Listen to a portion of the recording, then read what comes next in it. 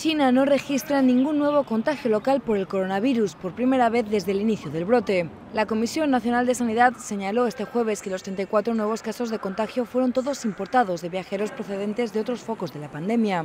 Asimismo, las autoridades sanitarias indicaron que se habían registrado ocho nuevas muertes por la resultante neumonía COVID-19 todas ellas certificadas en la provincia de Hubei, en el centro oeste del país y epicentro del brote. Estos datos sitúan el total de fallecidos en 3.245, entre los 80.908 infectados diagnosticados desde el inicio de la pandemia, de los que 70.420 respondieron positivamente a tratamiento y fueron dados de alta. Así, el número de contagios activos en China a día de hoy es de 7.273.